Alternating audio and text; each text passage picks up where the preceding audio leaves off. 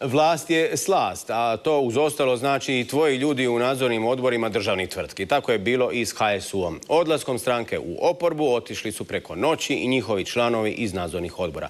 Umirovljenici se bune da je bilo i protuzakonitih smjena. Kazna je provedena po kratkom postupku. Napuštanje koalicije koštalo je umirovljenike nadzornih pozicija u Janafu, HEP-u, Astri i brodogradilištu Trogir. Vođe stranke kažu da su to očekivali, smatraju da vlada tako demonstrira moć.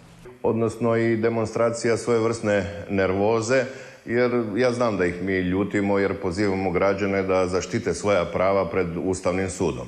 Analitičari objašnjavaju kako izbacivanje HSU-a iz nadzora državnih poduzeća nije neobično.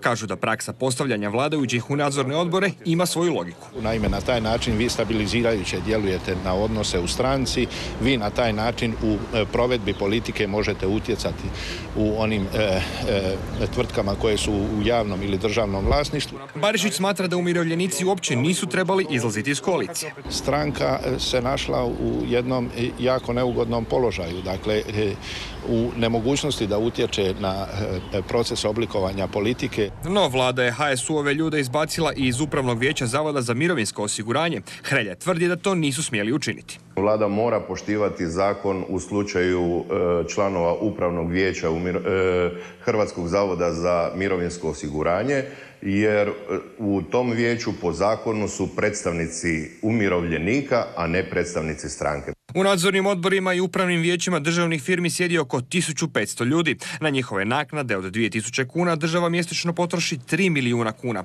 HSU-ovi ljudi do kraja mandata po toj su računici izgubili oko 216 tisuća kuna.